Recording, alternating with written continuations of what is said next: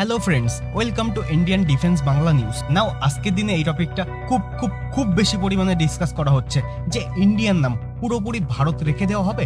আপনি যদি এক সেকেন্ডের জন্য ভারতের সংবিধান দেখেন, তো ওখানে আপনি দেখতে পারবেন পার্ট ওয়ান আর্টিকেল ওয়ানে পরিষ্কারভাবে লেখা আছে ইন্ডিয়া দ্যাট ইজ ভারত তো যদি ইন্ডিয়ার আপনি অফিসিয়াল নাম দেখেন, তো সেখানে ইন্ডিয়াও আছে ভারতও আছে।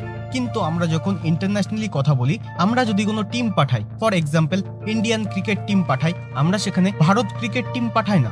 বা আমরা অলিম্পিকে যখন আমাদের খেলোয়াড়দেরকে পাঠাই, তখনও সেখানে ইন্ডিয়ান টিম থাকে। যদি কোনো লিডারকে আমন্ত্রণ পাঠানো হয় যে, আসুন আমাদের দেশে, তো সেখানেও লেখা থাকে প্রেসিডেন্ট অফ ইন্ডিয়া আমন্ত্রণ জানিয়েছে।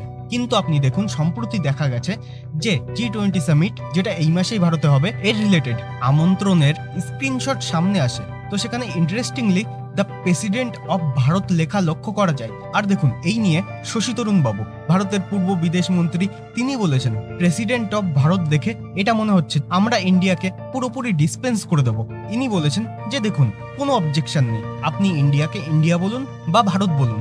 দুটোই অফিসিয়ালি আমাদের দেশের নাম। কিন্তু এরকম না হয় যে ইন্ডিয়াকে পুরো আমরা গায়েব করে দেবো। কেননা যেদিকে হাওয়া এগোচ্ছে, যে রিপোর্টগুলো সামনে আসছে, আমি দেখছিলাম। অনেক ফেমাস টুইটার হ্যান্ডেল আছে। এরা আগে বলতো যে টিম ইন্ডিয়া স্টেডিয়ামে চলে এসছে টিম ইন্ডিয়ার সঙ্গে কথা হচ্ছে। তো আমি এখন প্রথমবার দেখছি টিম ভারতের মেনশন করা হচ্ছে।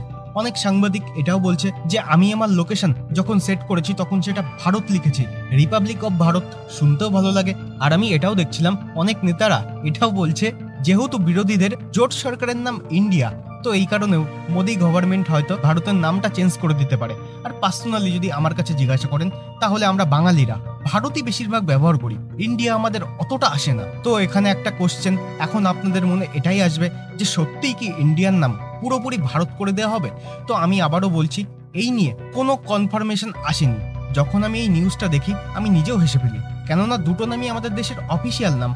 আর একটা ইন্টারেস্টিং জিনিস এখানে আরও আছে, এই যেসব রিপোর্টগুলো আসছে, মানুষের ব্যাপারে কথা বলছে, এর আগেই আরএসএস এর প্রধান মোহন ভগবত, ইনি একটা বক্তব্যের মধ্যে জনতাকে এটা বলেছিল যে, ইন্ডিয়ার বদলে ভারত বলা অভ্যাস করে নিন। আর এই যে ভারত আর ইন্ডিয়ার আলোচনা এটা এরকম না, এটা আজকের দিনেই শুরু হয়েছে। আপনি যদি দেখেন দু হাজার পনেরোতে, তো সেই সময় একজন ব্যক্তি একটা পিআইএলস ফাইল করেছিল।